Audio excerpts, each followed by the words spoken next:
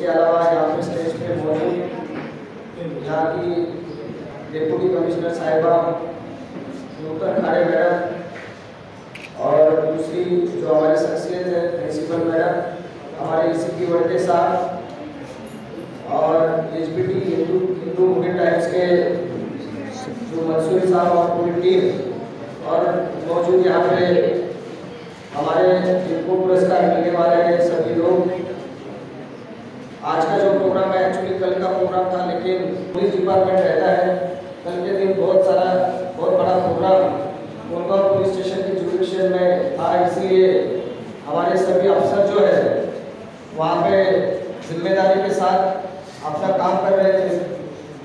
इसीलिए आज ये प्रोग्राम रखा है। उमर से कि मेरे सामने बैठी हुई सभी जो महिलाएँ हैं स्टेज पे उन सबको मैं हार्दिक बधाई देता हूँ उमर जो से के प्रत्येक प्रोग्राम जो सभी जगह पे हुए। सभी जो महिलाएँ हैं, उनका इस्तेमाल किया गया है। आज भी जो सम्मानित करने वाले उनका किया जाएगा। मैं तो बस इतना ही कहना चाहूँगा कि जब आदमी का जो जन्म होता है, वो एक महिला बना हुआ है। हम ज़िम्मेदारी के साथ हर रिश्ता निभाने की कोशिश करते हैं उसमें पूरे वर्ल्ड में देखा जाए तो हमारे यहाँ जो आबादी है रिलीजन में बटी हुई है लेकिन आज पूरे हिंदुस्तान में पूरे वर्ल्ड में बहुत बड़ी जगह पे वो हमारा नाम निकाल रहे हिंदुस्तान का हमारा स्टेट का। देना चाहिए एक महिला ज़्यादा आपण मराठीमध्ये म्हणतो की सिखलाई लेती है तो मुझे ऐसा लगता है कि वो पूरे हमारे फैमिली को आगे बढ़ा के लेके जाती है।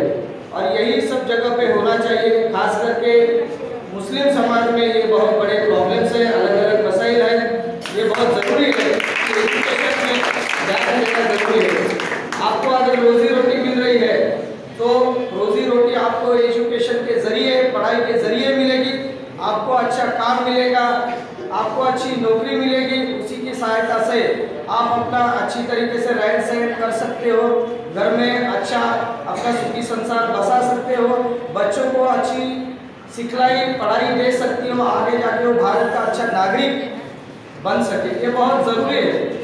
हमारे लिए कौमी एकता के लिए, हमारे महाराष्ट्र को आगे बढ़ाने के लिए, पूरे हिंदुस्तान को आगे बढ़ाने के लिए जो हज़ारों सालों से परंपराएँ चलती आ रही, इसमें महिलाओं की भूमिका बहुत इम्पोर्टेंट है और उसके कारण आज हमारा देश इतनी तरक्की कर रहा है। पूरे वर्ल्ड में जहाँ की अलग अलग जगह पे जो जिस तरीके से अभी वार जंग छिड़ी हुए लेकिन फिर भी हम अमर और शांति के साथ हमारे भिवंडी शहर में, हमारे राज्य में हम जी रहे हैं। इसका नतीजा है कि हमारे हाई लेवल के, हमारे हिंदुस्तान के जो पूरे तरीके से जो डेमोक्रेटिक कंट्री है, हमारे सभी प्राइम मिनिस्टर से लेकर सभी जो लोग हैं, उसके लिए वो खुद कोशिश कर रहे हैं। और यही कारण है कि हमने वो चीज़ ध्यान में रखते हुए आगे बढ़ना है।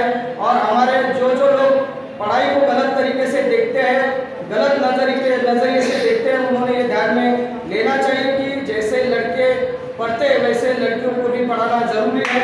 उन्होंने भी आगे जाना चाहिए। आपने देखा होगा एक प्रिंसिपल मैडम बैठी हुई है, बहुत ज़िम्मेदारी के साथ अपने स्कूल को आगे बढ़ा रही है कॉलेज को आगे बढ़ा रही है। मतलब ऐसी बहुत सारी शख्सियत पूरे हिंदुस्तान में है, जो अपने खुद के बलबूते पर पूरे उनके एजुकेशन को, उनके संस्था को आगे बढ़ा रही यही चीज़ जो अच्छे अच्छे लोग हैं आइडियल हमारे सामने होने चाहिए। और यही आइडियल जो है, हमारे खुद के लिए, हमारे हमारे रिलीजन के लिए, सब हिंदुस्तान के लिए बहुत ज़रूरी है। आप सभी लोगों को फिर से मैं एक बार महिला दिन की सभी को शुभकामनाएँ शुभकामनाएँ देता हूँ। और आगे भी मैडम जो है, दोनों मैडम आपको इसके बारे में मार्गदर्शन करेंगे और हमें भी उसका फ़ायदा मिलेगा। ये मैं कह के मेरे दो शब्द खत्म करता हूँ। शुक्रिया। खुदा